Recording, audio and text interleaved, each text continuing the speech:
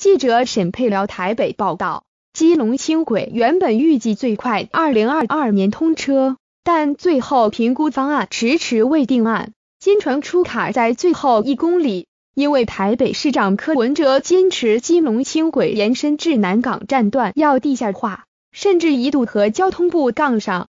柯文哲今天下午受访说，有交代副市长林清荣会找时间把这些问题公开说明。专业问题专业解决。另一方面，北市府二零一六年春节拆忠孝桥引道，是柯文哲引以为傲政绩。但台北市议员李庆元上午提报，很多石块现场破碎，甚至直接破碎，为运输至低外，省更多成本。质疑市府协助施工厂商黄昌营造诈领工程款六七千万元，设伪造文书。